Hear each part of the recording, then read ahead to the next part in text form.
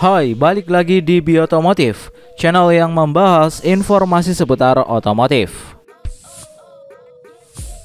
Berbicara soal MPV terkhusus pada merek Honda, pasti yang ada di benak kita ialah Honda Mobilio.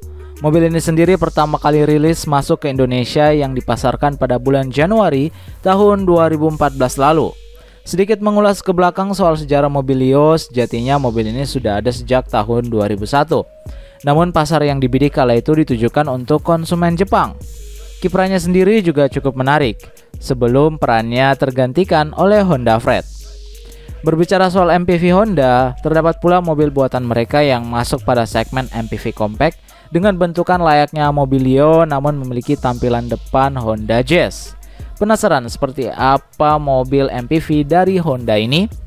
Namun sebelum kita lanjut, ada baiknya kalian tekan tombol like dan subscribe dulu di bawah sebagai bentuk dukungan kalian terhadap channel ini. Follow juga Instagram kita di @b.otomotifca untuk updatean terbaru lainnya. Kalau udah, yuk kita lanjut ke videonya.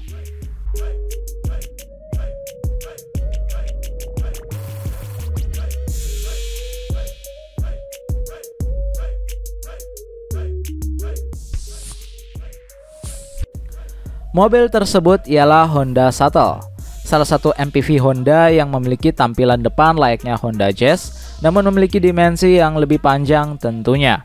Bahkan untuk versi terbaru atau facelift dari mobil ini mengadopsi identitas desain yang menekankan tampilan secara luas serta canggih. Hal ini tentu menciptakan kesan dinamis dan tajam dengan desain grill depan serta lampu depan sebagai satu aliran yang tersambung. Tentunya MPV ini memiliki daya tarik pada bagian bentuk yang dimilikinya di mana Honda Shuttle terlihat lebih ramping dan juga mewah pada bagian samping. Terkait dimensi, MPV Honda ini memiliki panjang 4400, lebar 1695 dan tinggi 1545 mm.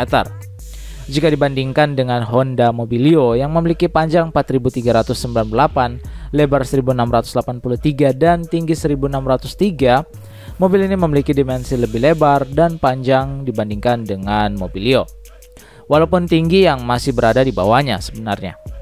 Tak heran, mungkin dengan adanya hal tersebut, mobil ini untuk pasar Jepang masuk dalam kategori segmen station wagon.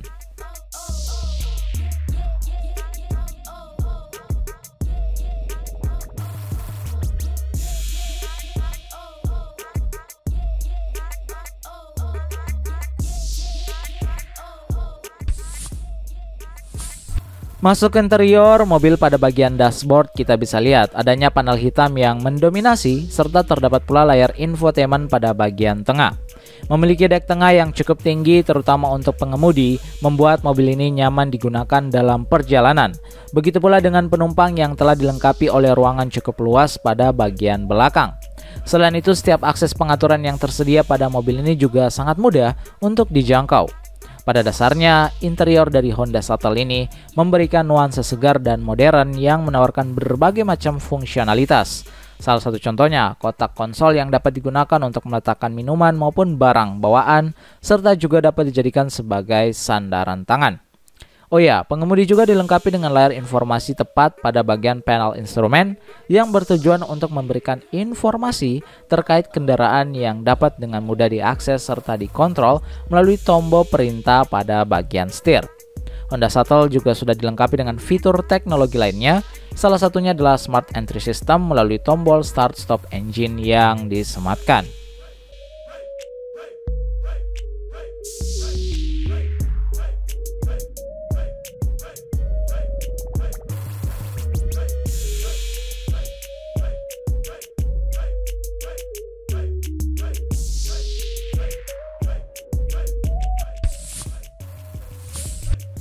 Mengenai mesin, mobil Honda ini memiliki varian mesin bensin 1500cc DOHC iVTEC dan 1500cc Sport Hybrid IDCD. Masing-masing mesin untuk versi bensin menggunakan transmisi CVT, sedangkan untuk Sport Hybrid IDCD menggunakan transmisi DCT 7 percepatan.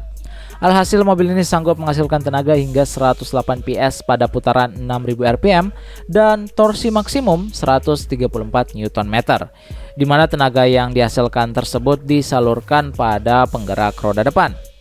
Selain tenaga yang cukup baik dimiliki, Honda Shuttle juga dilengkapi dengan sejumlah fitur keamanan seperti collision mitigation brake, adaptive cruise control, dan juga lane keeping support system.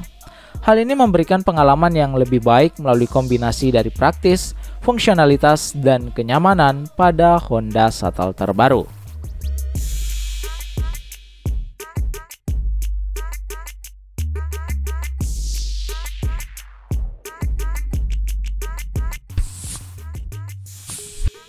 Terkait harga, Honda Shuttle sendiri dibanderol mulai dari 15.408 US dollar atau jika dirupiahkan setara dengan 220 juta untuk varian terendah serta 17.911 US dollar atau setara dengan 256 juta rupiah untuk varian tertingginya.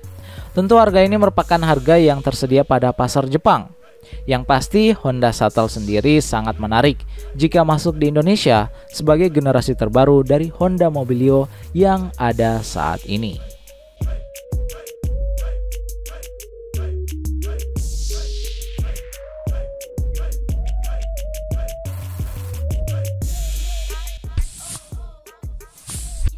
Nah, itu dia Honda Shuttle sebuah MPV dari Honda. Gimana tanggapan kalian dengan mobil tersebut? Coba kasih tahu kita ya di kolom komentar di bawah. Jangan lupa juga untuk klik like dan subscribe YouTube channel ini agar kita makin semangat untuk membahas informasi seputar otomotif lainnya. Follow juga nih Instagram kita di @bat.otomotifca untuk updatean terbaru lainnya pula. Oh ya, bagi kamu yang membutuhkan informasi seputar dunia kendaraan roda 2 atau motor, bisa langsung ke channel kita yang satu yakni Bimoto ya. Kami pamit undur diri dan salam otomotif.